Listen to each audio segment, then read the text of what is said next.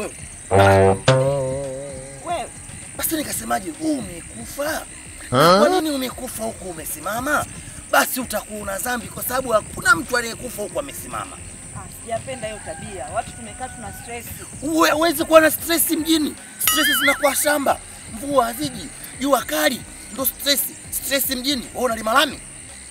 Unalima lami? Licha ya kulima lami, lakini mtu unapokuwa mjini unakuwa na mambo yako mengi. Watu tunadaiwa makodi hapa, watu tunadaiwa vikoba hapa.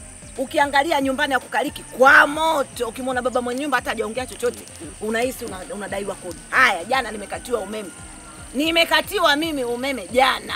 Ah, Oh, kwa jana watu wamekata. jana no, no, no. Nikiwa sina taarifa umeme! Wamekata. Kwa hiyo ule wako uliingilia kwa mbele, uliingilia kwa nyuma. Wewe nayo wa nini? Wa kuingia ndani wa hiyo umeme. Hasa mimi najua mimi fundi umeme mpaka nijue hivyo vitu umeingilia mbele au umeingilia nyuma. Ah, hilo tatizo Tatizo hilo vipi? hilo tatizo tena kubwa, na tatizo hilo dawa yake hii Moja. Nifanyaje? mafuta nazi. Eh, parachuti nasi. Mfuate nyumbani. Mbona na unaniongelea mafumbo huu mshikaji vipi? Mara umeme umeingilia nyuma, umeingilia mbele, mara mafuta ya nazi. Sasa mambo ya mafuta nazi na umeme wapi na wapi?